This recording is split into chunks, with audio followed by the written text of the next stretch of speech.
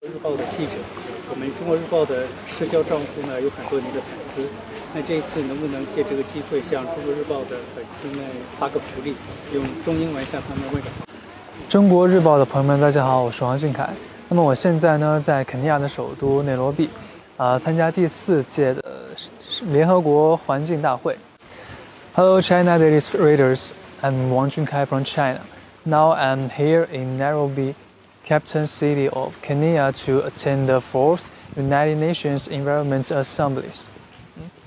那作为一名青年学生，您认为啊，作为一个名青年，您认为呃，在环保方面可以做哪些工作呢？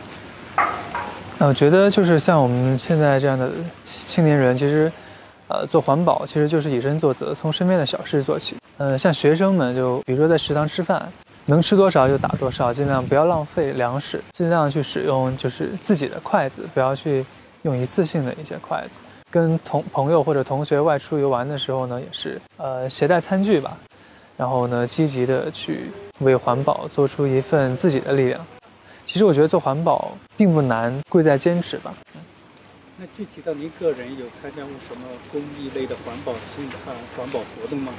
呃，另外就是具体的节能减排方面，你在日常生活中有没有什么小的秘诀或者小的经验可以跟那个粉丝们分享？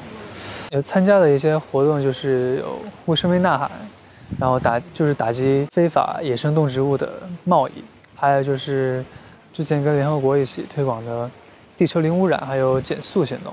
啊，那么我觉得在节节能减排方面呢，其实也没有什么小秘诀啊，其实就是养成自己的一些小习惯。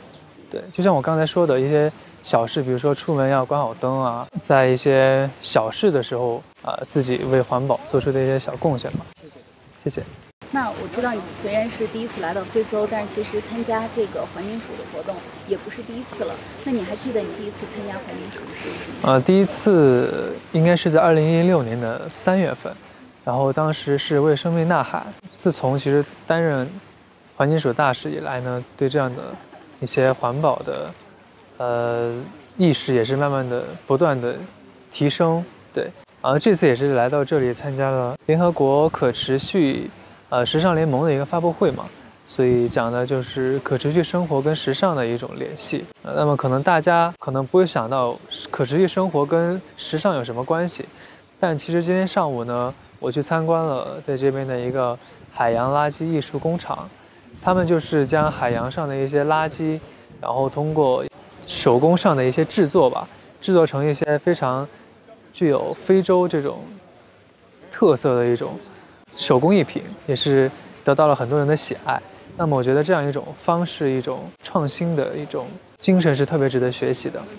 那其实你这样一步步、一步步的走来，是不是觉得自己在环保方面意识也一直加深？环保意识，我觉得是人人都要有的。对于我们大家来说，环保就是不会不要去贪大，其实就是从身边的一些小事做起，以身作则。那么我其实也就是跟大家一起提高一种环保意识，用自己的影响力去带动大家，更能够承担社会责任吧。所以，其实这是你觉得作为工作人员自己应该承担的一份责任。有没有其他方面，日常生活中会不会跟自己身边的朋友也有这样的一些分享？会的，比如说，呃，有时候大家一起出门吃饭，就会尽量去少用一次性筷子啊，或者说，呃，那么我在剧组也是会自己带水杯，不不尽量去用那些一次性的一些杯子这样。嗯，其实我之前也关注过你，其实发就是呃发起过一些环保的倡议行动。那么就是在这个倡议行动里面，你觉得自己收获比较多的是什么？收获比较多的，我觉得就是就感受到。呃，大家都都可以贡献出自己的一份力量，我觉得是非常有收获的。好，非常感谢。那你下半年会有什么新作品或者是新歌和大家见面吗？下半嗯，介绍一下。下半年应该会有新歌跟大家见面，也是正在拍摄一部电影叫《七四九局》，希望大家多多关注。新华国际头条的读者们，你们好，我是王俊凯。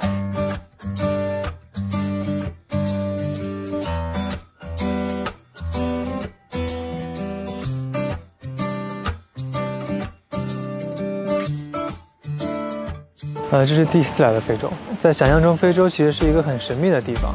那么来到这里呢，也是看到了很多非常自然的景象。嗯，其实我的工作其实跟环保就会有很多相关的活动。那么之前呢，也是一起参加过联合国环境署的为生命呐喊的活动，就是打击非法野生动植物的呃贸易。呃，也有一起推广过零污染地球，还有减速行动一些等等的事。呃，这次非洲之行呢，就是呃，首先也是抱着学习的态度来参加。联合国环境署的这个大会，学习到了很多关于环保的东西吧。然后在这里呢，也是感受到各国的年轻人为了地球的环境而做出的改变。环保工作其实，呃，从传统的方式也是慢慢的转向比较时尚的，然后有着趣味性的一种方式。